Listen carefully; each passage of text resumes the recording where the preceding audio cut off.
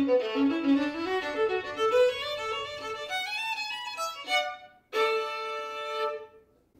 everybody, Vi Wickam here with another quick tip of the week.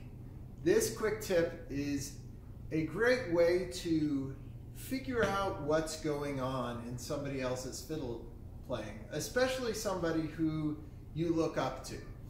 And uh, that way is to transcribe their music. Now, when you transcribe a piece of music, it really makes you figure out where those notes lie. So if I'm just listening to a tune and I learn it by ear and something's not quite perfect, I may not notice it because I just go on.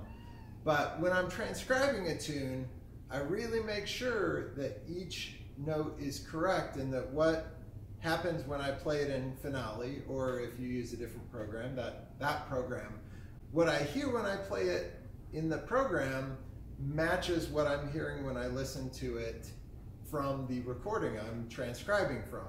So if you want to really get a deeper understanding of maybe the bowing patterns or the rhythms or the notes that are being played by somebody you look up to, transcribe it. You know, get into that nitty gritty and figure it out because making that transcription is a great tool to take your understanding of that music to the next level. So this doesn't give you technical skill to play it necessarily, but it gets your mind there. And as G.I. Joe said, knowing is half the battle. That's your quick tip of the week. I hope you have a wonderful one. I'll see you next week.